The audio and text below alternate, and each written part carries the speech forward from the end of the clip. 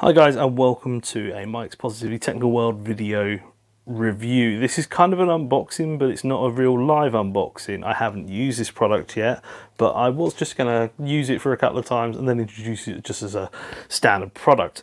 However, I used it or tried to use it, put it together and uh, then I thought, do you know what? I think you might get some um, some handy tips uh, so yeah, welcome to a re-unboxing of the Worx WG186E.9. It's a 38 centimeter brushless, cordless, 40 volt, um, all singing, all dancing um, uh, strimmer. Uh, well, sort of strimmer. It's a, a multi-tool really, because uh, as you'll see when we open up the box, um, imagine. Other than that, it's literally unused. It's still not done anything. I couldn't really find the original boxes and bits and pieces and packaging because it all just been discarded to one side, but I did still have the original box and some bits of packaging that I found. But um, yeah, it's like I said, it's a 40 volt. Uh, it comes with two 4 amp batteries. Comes with a charger if you get the one with the charger. If the Dot 9 version doesn't, it's completely bare bones only. Uh, inside the box, you'll find the knurled nut part, or the washer, if you like, for putting the rather lethal brush cutter blade on it. You also find the drive shaft adapter and uh, the important bits really are this tool. This is an Allen key with a 10 mil and a 17 mil, might be, whatever size that is. But anyway, it's got 10 mil there, which you'll need for a construction of the, um, the tool. And then also various bits and pieces here. Various bits and pieces here I will run through. They are quite important. Bear with on this. Also in the box, you'll find a 25 centimeter diameter double-sided brush cutter blade made by Worx, made for on behalf of Worx rather. It's got 6,000 RPM limit on it, and if it goes blunt at any point, you can flip it over, and then you get a second uh, second wind on the blade. So that way, if you're using it and you hit something like a rock or a bit of metal or a tree stump, and it blunts the blade, you just flip it over, and you can carry on running. They're scary as diddly doos and uh, I personally will not be using that. I'm more interested in using it as a strimmer even though it may take a bit more while with it. Inside here you get the rather large, it's, it's, it's not small in any means, um, it's the brush guard so this stops all the uh, rubbish from coming back at you and spitting back in your face. You've also got this side handle, I think it's actually a stability handle to be honest when you're running it on idle, which of course doesn't vibrate, so it means it's going to just sit there. Um, you also have a, a bar strap. This is central bar, so I'm assuming it's on the pivot point. It's Worx branded, so it always gives me a good nice thumbs up. Uh, you got a D handle in the centre. It's called a D handle because, well, it, it looks like a D. Suppose we could call it a, a W or it's a M for Worx upside down, obviously. Self plug, honest. Um, inside here, you'll find this piece of packaging. It's just a piece of packaging, you don't need it. You'll then also find the meat end of uh, the first accessory that you will probably get. There's also available a brush cutter, a small chainsaw, and a hedge trimmer adapter. Oh, and a garden edge. I think there's technically four. So you can have this, obviously you can swap the head over um, on this and uh, then you can um, obviously you have the strimmer head, but there is actually an actual brush cutter head which features a slightly different guard.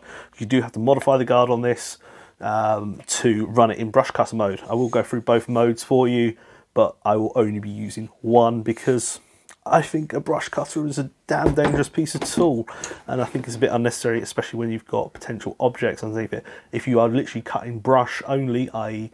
brambles and heavily uh, infested area with which you know has got no obstacles in, then by all means use a brush cutter but it is not really designed for be going low level stuff where you might have obstacles that you might want to keep. And then this is, oh look at it, just look at it. That is pretty much 80% motor inside there.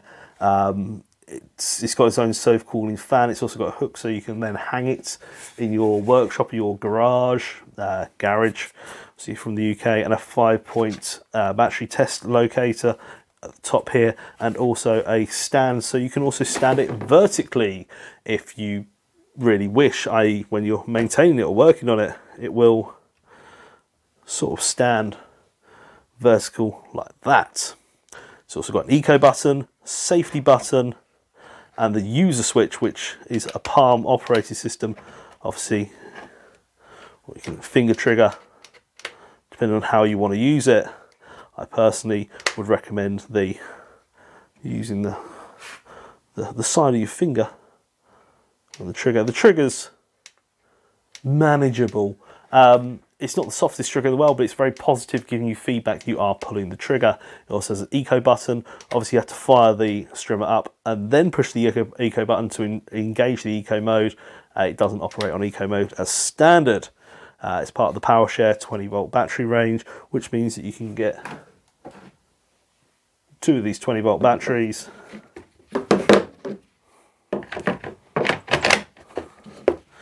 Insert them, and then you can use them on a plethora of other tools. You can maybe use them on your uh, garden blower, uh, your mower, whatever else you've got. And uh, to operate it, simply when it's put in, it'll give you, it'll indicate there saying five bars. And that one and that one also says five bars. And that one there says five bars. So it's a lot of spool up time and that's without anything on the end of it mind you. So look it is bare tool at the moment. No load she's gnarly. She's beastly.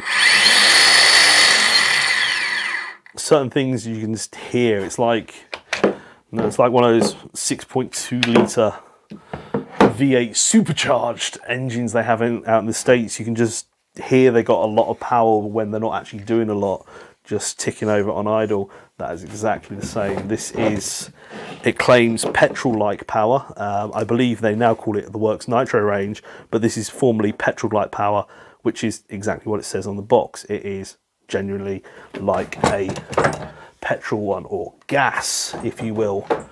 Um, I don't think it actually runs on Nitro Butane, so let's get the box out of the way. Um, we will have a look through the instructions as well, because the instructions, you what, I will be you instructions for this, okay, because I read them and um, I glanced over them and you know, if you don't read these, you're going to die, that sort of stuff. Okay, yeah, yeah, yeah. Um, trust me, there's a few bits and pieces that you'll want to listen to. And I work in health and safety, so I was quite concerned when this happened to me. So this bottom plate goes on when you're using it with a brush cutter and that is the top plate and it sandwiches it between there very nice but like I said we're not going to be using this brush cutter and that's the nut which obviously uses on the end of there, which I believe is 17 mil. That tightens up the brush cutter blade. I will install it, but I'm not going to use it, okay? The reason why I won't use it is, like I said, it's damn dangerous. I don't really like them.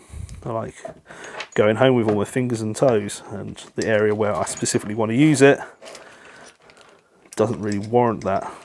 So you're going to put your Allen key, that's included in the box, just making sure in shot. And you're going to put it in the bottom head and then this locks the shaft and then we're going to remove the strimmer head the strimmer head has its own washer system and you can see there the lock which I just engaged if you like onto the uh, spline shaft so it rotates round so it rotates around. Locks into the spline light on the shaft. And there we have it. That's then locked in. Um, with regards to the brush cutter blade, you simply take the knurled spline standoff washer, place it on there, I don't think you do a direct replacement. You might do. You might not. I don't think you do, else you lose the ability to lock off the shaft. And you don't want that. And also then the offset would be too low. Right, and then you take the washer. The washer goes over the top. No, to lie. It goes in there. That goes on top there. And then this goes on top of that. And then the washer and nut goes on top here.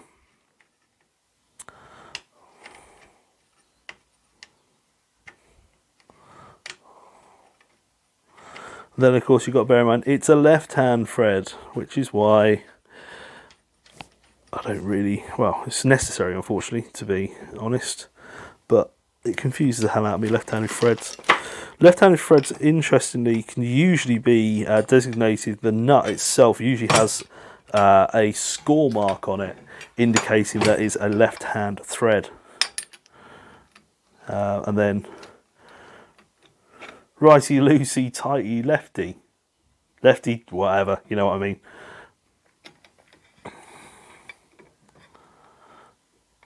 And then you want to make sure you do this up amply tight. If you do not do this up amply tight, you'll have a spinning disc of death. When you fire it up, it will go, and then the motor will break and stop. When the motor breaks and stops, the blade won't. When the blade doesn't stop, it's spinning approximately, I think it's 8,000 RPM nearly, and uh, or 6,000 RPM, sorry, 6,000 RPM, and then you are left with a spinning top of doom on the floor. That spinning top of doom on the floor is spinning at 6,000 RPM and could go off at any direction. So yeah, once that's done up, um, remove the key. You should obviously install the guard as well to make sure that you're uh, not putting yourself at risk. And uh, yeah, it rotates around and it slices through stuff. And that's that. That's very nice. We'll now undo this, making sure that we bear in mind that lefty Lucy is now tighty Lucy. Tight, you know what I mean. It tightens up if you go left, and it undoes if you go right. Very, very, very counterintuitive.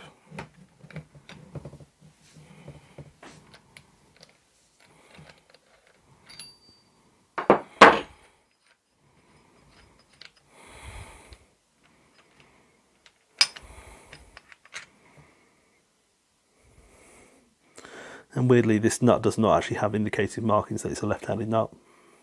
They usually have two strikes down the side of the nut. Industry standard sort of base thing.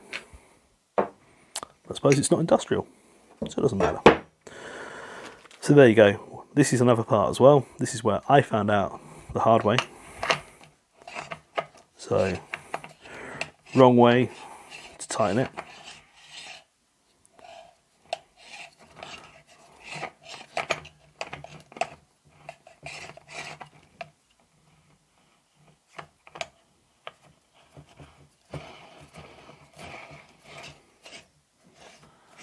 So when it's supplied, it's supplied like that, very loose. So just take point whereby it goes real hard and then go, you're aiming for about another quarter turn. It's probably more like an eighth, but you want it done up firm. If this comes off and then it comes towards you or rolls towards you, it's going to be a bad day for you. One that you remember. Okay, moving swiftly on. Hope you found that useful too much of a waste of time. You're going to take your guard, you can insert through there. You're going to, huh, he says doing it the wrong way around. insert through there and rotate this way. Probably trying to do stuff to camera. You get left and right muddled up and also it does it all back to front on the camera. I'm just going to start it off like that then I dare say this is the wrong size. Of course it is. This is only there for locking off the head. The actual usable size is here.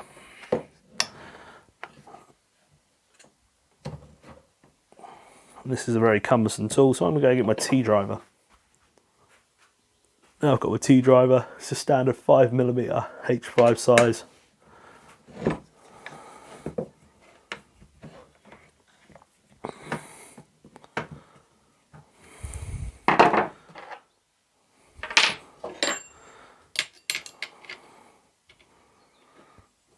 I'm just going to give it an extra quarter of a turn with the full length of this. The reason why they give you a longer Allen key, most probably, is so you can do up the extra amount of torque. Um, right, so we've now got the head end. Um, it's worth noting as well. So lots of nerf noting. Um, so the bump function, which is I think originally invented by. Um, will come around. Got a blade on the inside here. Uh, it's also got a method whereby you can actually detach this outer rib.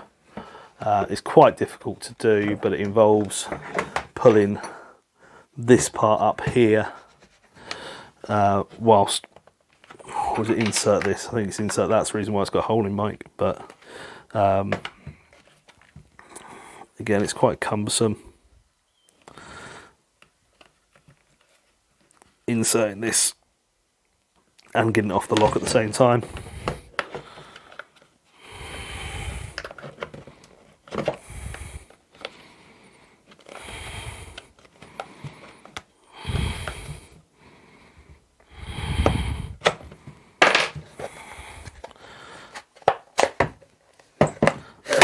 So there you have it. So if you want to uh, use the brush cutter blade, not with the string, with the brush cutter blade, you'd use it like this, so that way you don't end up endangering yourself with that sharp blade. That's what cuts the trim line when you feed it out, and it simply slides back on here. Being careful, of course, because there's a blade underneath it, not to slice your hand open.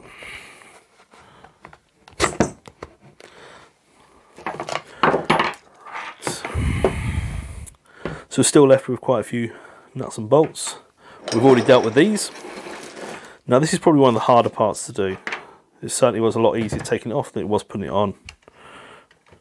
So the rotary end here, making sure you can still see it in the camera, we're going to undo as far as it will go. Then we're going to take the D handle, and the D handle, I will just double check exactly which end it should be. So it slopes back towards the user and it should be this way up.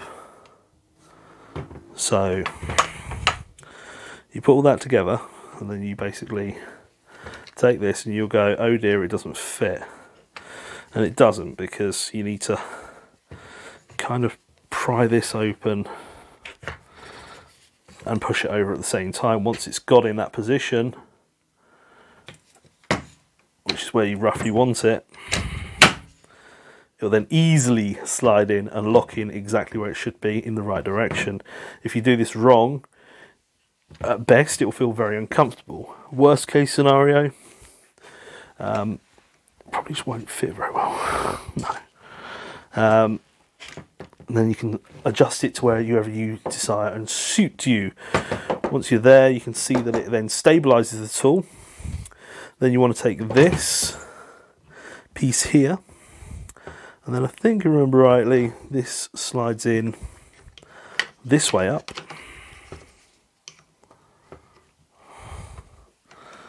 Like so. Then we take this bolt, this bolt has got a hexagonal head on it, hexagonal head fits in, if I do it upside down so that way you, you can see it correct, fits in like that. Belly that way up. This piece here slides in, get the angle right. Ah. Underneath here, through here. Then eventually should poke out the other side here for you to then take your 10 mil nut and using standard directions this time.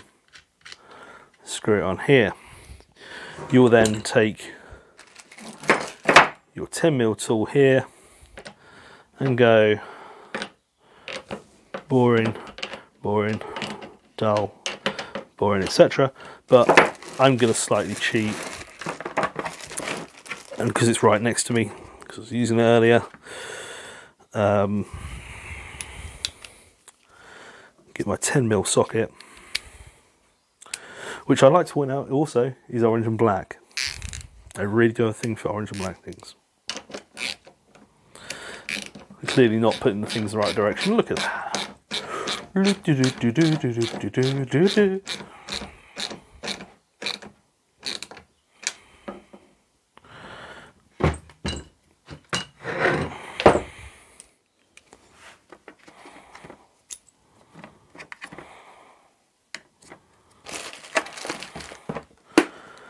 There we go. Um, when you're attaching the two ends of the shaft, you borrow your extended work table, just my bandsaw.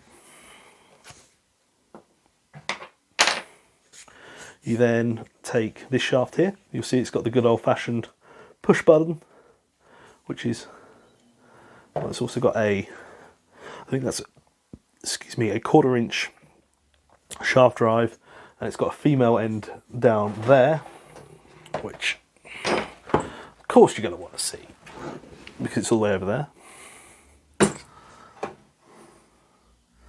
You can't really see that that well. And I don't have the option of illuminating it anyway because everything I've got to illuminate is here. Let me take the. You see it down there? Yeah, I think you can see it. This is a little cross that basically engages the drive positively and technically uh, into the tool. It's got also got a knurl on the end. I think if you push it in, it auto locks, which it does. Because I think that's actually there to locate it, not to keep it in.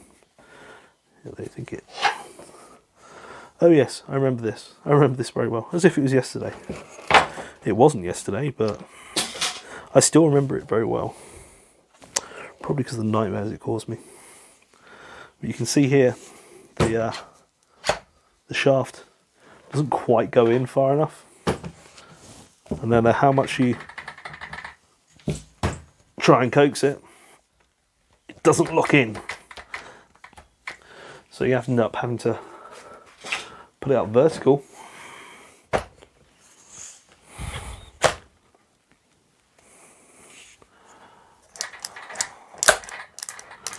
and wiggle the head. You kind of didn't see it on camera, but you put it upright and you wiggle the head round and then it locks in. You can then, once it's locked in place, safely do up the drive shaft, making sure that nut is sitting in its cradle on the other side, not half hanging out. You don't need to do it up too tight, just to the point where those two meet and make sure that button is hanging out there. You now have your fully assembled Worx WG 186 brush cutter ready for use. And uh, without further ado, now we've put it all together, let's go see how it performs. Stay tuned. Okay guys, so for the test on the WG186E I've got a bit of a challenge for it. I say a bit.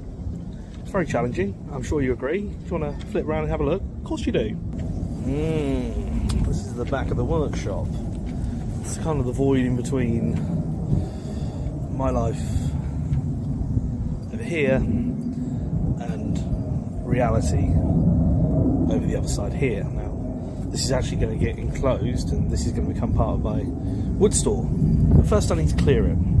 And as you can see, you've got a lot of brambles here. Unfortunately, I could just go for leather with the uh, brush cutter, but I don't know if you can see down here. There's some extruded aluminium down there, and then somewhere in there as well is about seven meters of triangle truss. Triangle truss is quite expensive and have been quite hard to actually source at a reasonable price, so I don't want to destroy it. So therefore, it's going to be string trimmer time. String trimmer time. You try saying that, alright? um, yeah, so uh, without further ado, safety specs are a must. Oh yeah! And uh,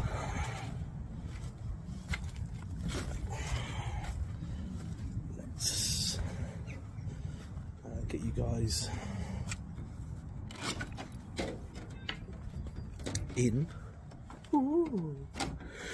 Have a nice little look around the old the workshop. Yes, right. Let's just stick you guys there and uh, push the magic button. Oh yeah, I hope you like the view guys. You are now pole position view, best seat in the house to see how this performs. Basically now try and manoeuvre it, he says.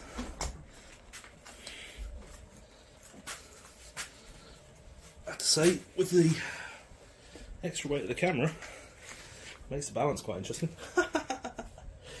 yeah, right. I don't know how much I'll be able to actually film, but here we go. It's like FPV style for you guys. Turn the lights off.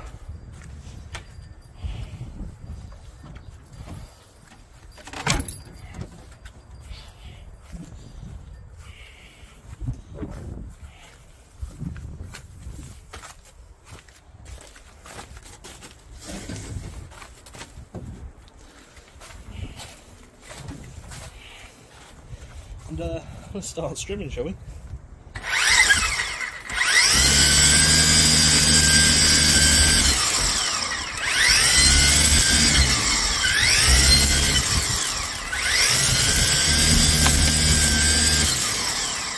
The stop start thing's me, by the way. It's just because I don't want to run it flat out, because flat out's like this. And I want to run it somewhere around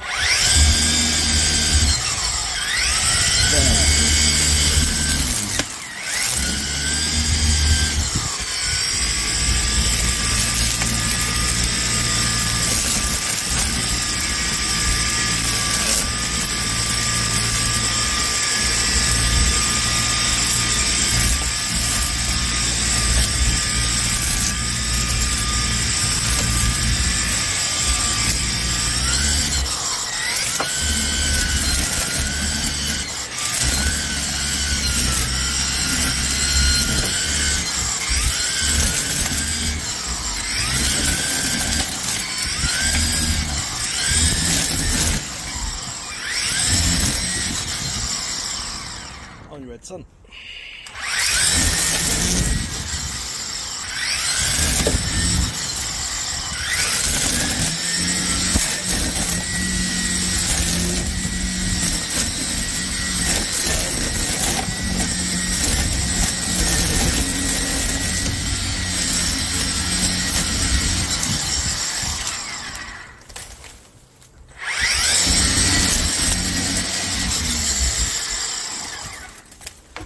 Certainly is tough stuff.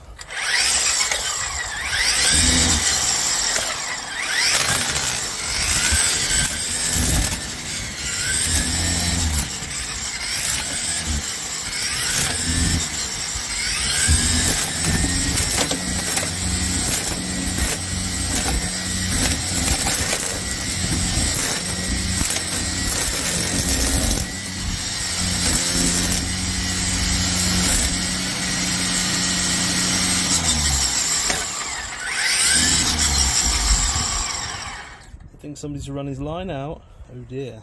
Pausing. Well, that was one of the more unpleasant things I've had to do in life.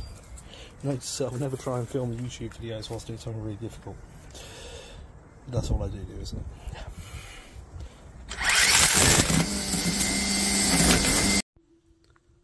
Mike, mate, you'll be absolutely fine. Seriously.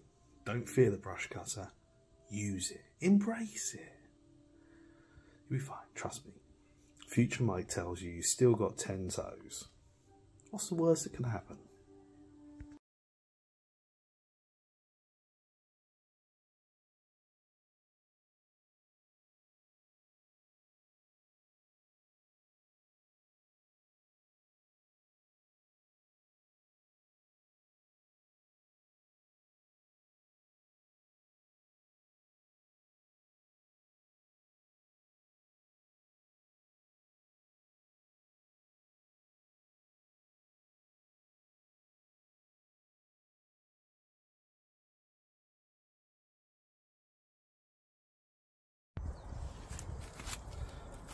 Okay guys, there you have it, Worx WG186E.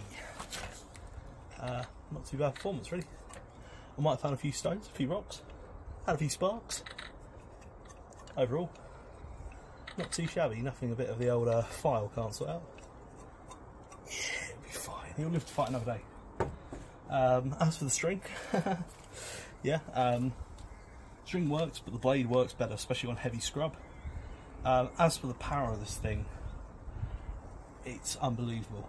Not once did it turn around even have a hesitation of lacking power.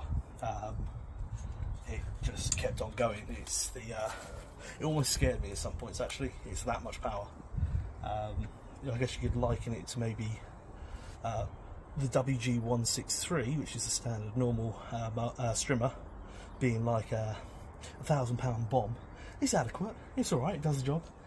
This this is this is the uh, the big one. This is the uh,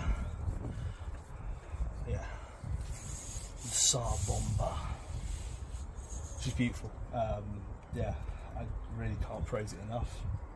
Uh, it says gas light power, petrol light power, and I think it's actually more powerful because it's electric, it delivers more torque, and it doesn't suffer from much from RPM lag. With a petrol, you're constantly going and building it up. With this, it's just power and torque purely there all the time. Having said that, I dare say that it's come at a slight cost to the batteries, which are only on three bars. Three bars though to cover all of that. It wasn't light duty at all. It's quite heavy duty in my opinion, what I just cut through. Um, you know, it's, it's done well for itself. Uh, some of the thicker stuff down the bottom there was nearly the size of my thumb.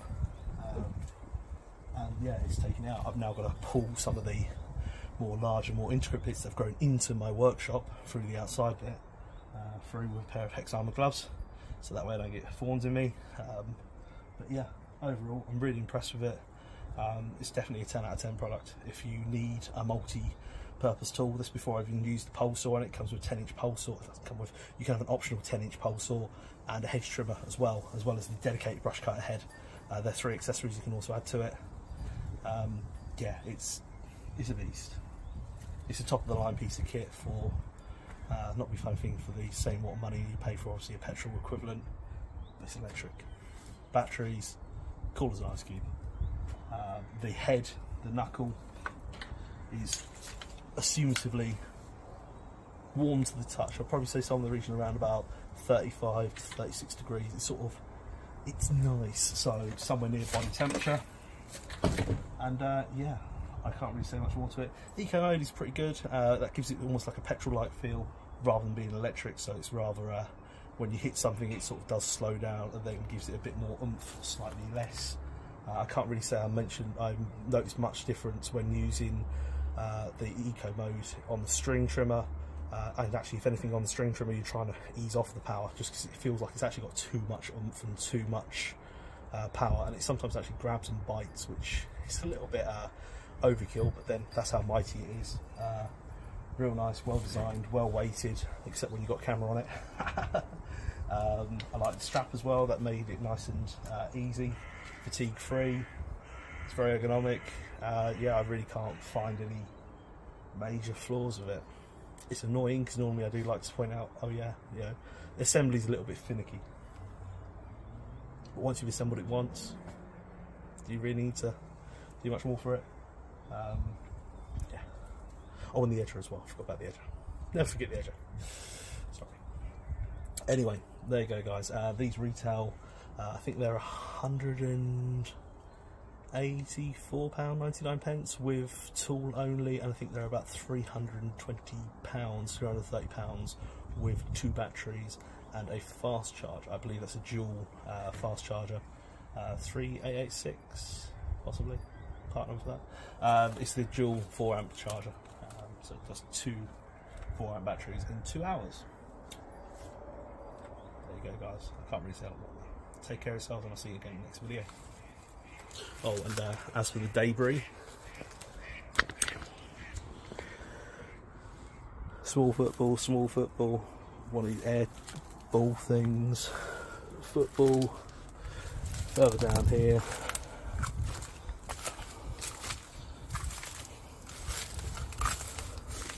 There's a basketball. there's a square foam dice. Yeah. Um, more of those air ball things. Another lightweight play ball. Another play ball. And another one. And another. And another. And another. Yeah. There's lots of debris down here. Um, oh, and a tennis ball as well. Um, and lots of thorns for going in my foot. Nice. Um, yeah, um, that's that, guys. Um, yeah, if you uh, want to subscribe, we're going to do a lot more videos this summer. Some great summer products for the garden. Some of the more higher end stuff. And of course, we're going to be looking at some videos on mowers as well soon. I really can't wait. One of them has just done this. Lovely. Oh, and there's my truss, which I needed to avoid, and luckily didn't have a single scratch on it. They did have quite a lot of debris growing through it. So yeah, there you go, guys. The Worx WG186E. Mighty little so-and-so.